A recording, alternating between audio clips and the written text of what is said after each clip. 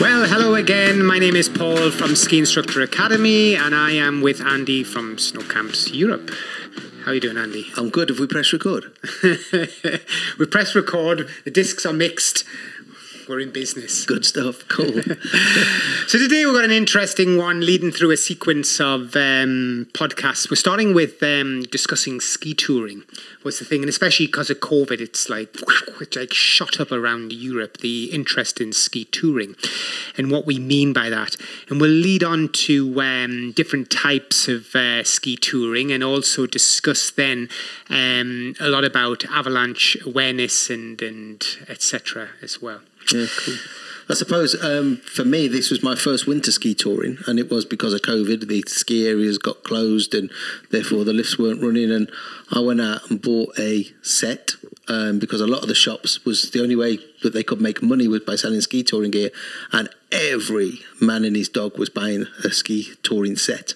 Um, and There were some cracking deals, wasn't? Oh, unreal. 600, I think 699 for a pair of Hagan skis, skins, Fischer boots. Poles as well?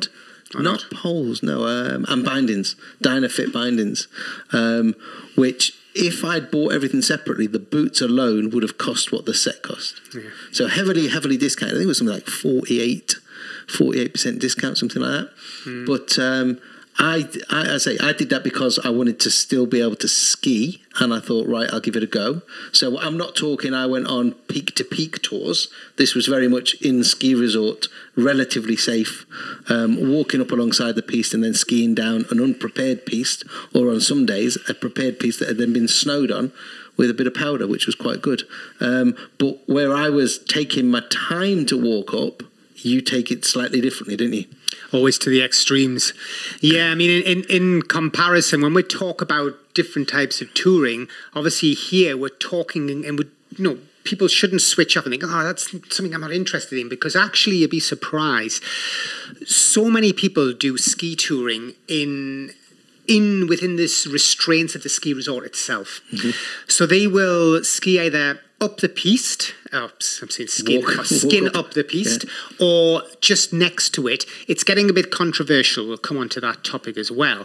But basically, what you're talking about, Andy, is in the actual ski resort area, walking up or alongside the piste, and then touch it, ski back down. What is ski touring in essence, then, Andy? I mean, what what is the equipment that people need for this, and is it something that's not in the reach of a recreational skier? No, I think it's well within reach of any skier. And what surprised me was there are a lot of people out there ski touring in a resort area who can't actually ski that well down. No. Now, also, the equipment doesn't aid in nice skiing down.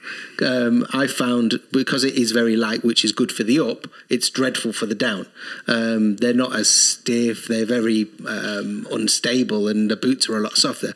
But you can still get down. Um, you might not just get down with as much finesse as you would normally on your alpine skis.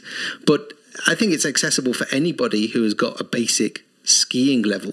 Um, and again, going back to what I was doing, which was walking up. One, yes, I was getting a good workout out of it, but that wasn't necessarily my aim. My aim was to get out into the mountains on days where they were closed. So walking up, good workout. Have a little bite to eat when I got to the top. Obviously, all of the huts were closed, so I was taking some nuts and what with me, bit of fruit, have a drink, have a little rest, and then ski down.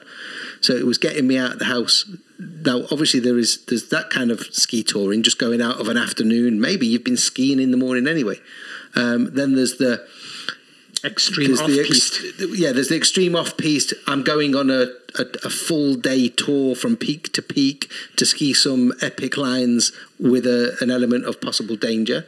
And then there's as you kind of do it, you do it for a workout. So you almost Yeah, we, we up. have yeah we have race kits. So our kit's different. Um, we wear race kit clothing, which is very tight lined, and it's a bit almost like cross country skiing. You know, um, I'd say it's the next level down from the pain side of cross country skiing. If you do cross country skiing properly, that is. Um, we run up. We basically go up at high speed or as quick as we can. The skis are like 163. The bindings and the skis combined are barely 200 grams. Uh, as you say, the cost is astronomical because it's all carbon. The, the, the ski boots carbon. Um, Um, so it's very very light equipment, and you, it's it's obviously a it's something probably people don't know, but it's a competition here in in Europe where Mm-hmm. people do racing like this, where they'll run up all these peaks, ski down, go up another peak, ski down, go up another peak, ski down, and there's races like this across Austria, um, and it's very much uh, an endurance sport. You know, it's very much like I don't know biking, for example, race biking. So that sort of body type. running. It's that type of body type. You know, um, Spargeltarzan. We say like um, Spargeltarzan is a, a matchstick, like a matchstick man. Yeah. You know, you need your matchstick man arms and stuff because you're just you're just running everywhere, and it's you're pissing with sweat when you get to the top. Um, so, for example, from the bottom of this mountain, local mountain here to the the top of the mountain, it takes most people like a good speed. Let's say a relatively fast speed would be about one hour. 20 one hour 25 mm-hmm. would be you know relatively good to walk up it. We would go up in about 50 minutes and some of these like proper matchsticks will do it in 35 or something Wow. you know they'll be like literally just running up. Um, but of course like like biking it's it's it's about your weight as well. How much weight do you carry? Um, and that makes a difference. So now you've got like the nice pleasant tour. Yeah. you've got this extreme like racing up. And then as andy says the other side of the coin is the slightly more um, dangerous element where you're actually going on tours that are nowhere near anybody basically and you are just touring up a mountain and we'll talk about those tours in depth more lately when we discuss um, about some of the avalanches that I've personally been in because then we can relate to that but here we're going to stick very much to the beginner element of it and explain to people on a like a six seven day holiday that they could during their holiday basically switch their equipment Yep. Into ski touring equipment, and a lot of resorts will have at least one night of the week where you're permitted to go and ski tour up to a hut, mm-hmm. which is such a nice thing to do. Yeah.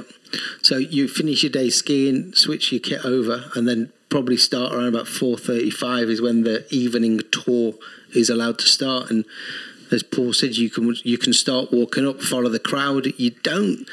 You could have a teacher, an instructor, or somebody with experience with you to show you how it works, but it is pretty simple. Um, the equipment makes it quite easy, and once they've shown you in the shop how the equipment works, I'm sure anyone with a little bit of skiing knowledge wouldn't have a problem. the issues are, is people should be aware, is those skins. So how it works is it's a it's a loose binding Yeah. that that basically it's an alpine binding that allows the heel to come off, and then when you're at the top of the mountain, you can click the heel back down. It becomes then an alpine binding in effect. Now the other part is the skin, which is thousands and thousands of hairs on this skin that basically allowed it to slide forward, but it won't slide back. Mm-hmm. Now, that said, you need good technique if you're on steep terrain doing it, or oh, it's a bit icy and smooth. If you're just going up like a blue piece, you're fine. You're not going to have that slipping back action that you get sometimes if you're going up a steep red or a black. And, you know, I have on many occasions tumbled all the way back down a slope that I've carefully plotted my way up, and then the skin slips, and it's like, oh God, disaster. Um, and it's quite embarrassing. There's the other side of that with the skins, and I, I will put a little bit of video in in this podcast so you can see. But there are times where you're walking up, and then you need to slide down slightly to walk up the next bit.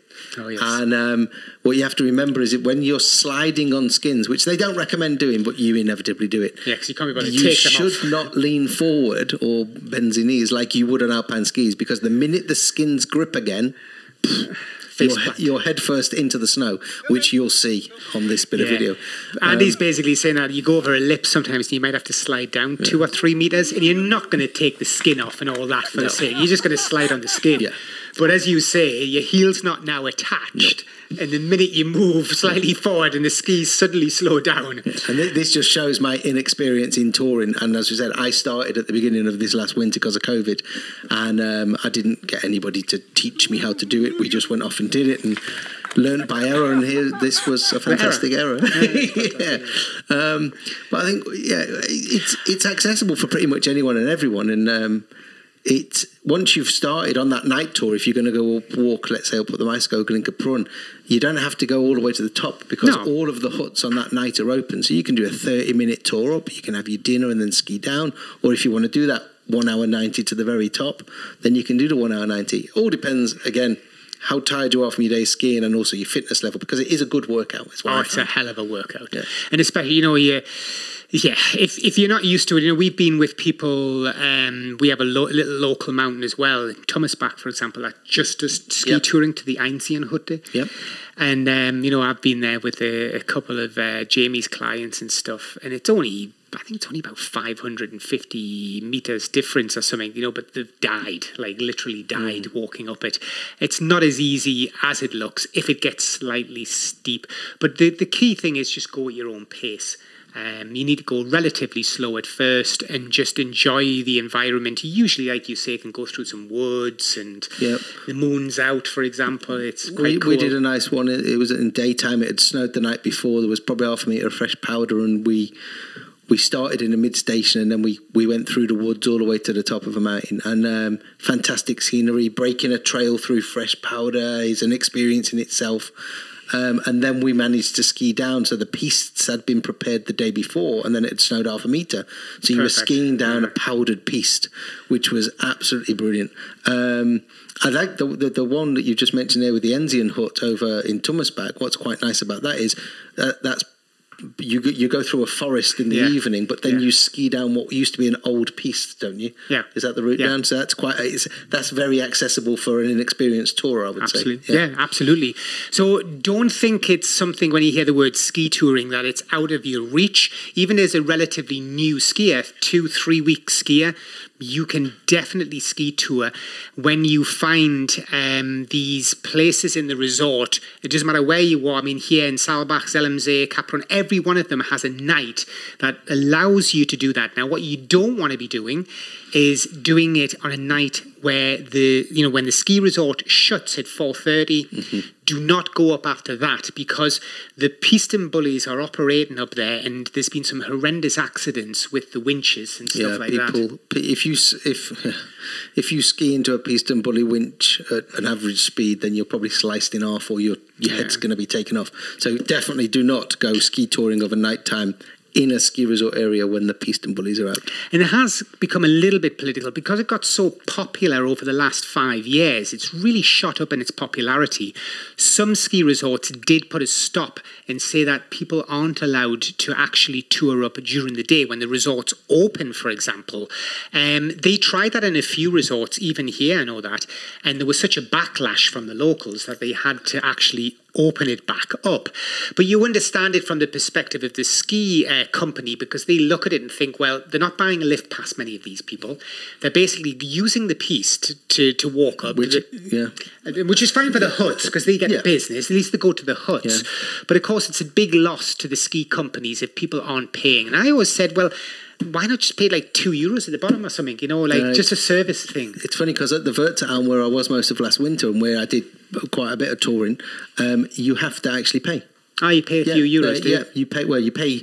I think it's ten euros if you wow. if you just want to go up the valley um, run. So you walk, and there is a there is a designated track that you go up Ah, right, next okay. next to the piste. You have to buy a ticket. They check your lift ticket. As, as you would be getting on a lift almost, you can walk up. That gets you to the midpoint, and then you can ski back down. That's ten euros. Then they have like a fifteen euro, which is you can go up, you can ski a run, use a lift, and then Ah, ski back right, down. clever, yeah. And then they have also if you can buy you can buy a season ticket now, which is just a, a alpine skiing season ticket, or it's a combined touring ticket, which means you can tour up and use all of the the lifts at the same time.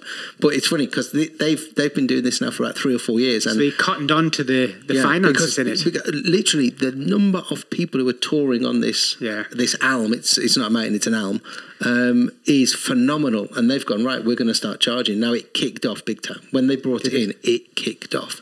However, people got used to it, and now they're happy to pay it um, because I think because there's a service there. yeah, well, yeah, you're getting a prepared track to walk up, Yeah. and you're getting a prepared piece to ski down, Yeah. and that's in the daytime, and then in the nighttime, you know that it, again, it's designated for night touring, so it's there's a safety element. the huts are open to service you, etc., etc. Now, what you do get some people doing is they don't drive into the car park and go through the main entrance. They will park on the pass, right. and they'll come through the woods and they'll try and dodge the ten euro charge. There's always going to be someone who jumps the jumps That's the fence. So don't be put off because we're going to go into the ski touring subject a bit more in the next few podcasts. So don't be put off. Follow them because it's going to have some interesting subjects to do with snow, snow types, and and etc. around Europe about avalanches as well. All good. yes, See you in the next one. give it a go. Bye for now.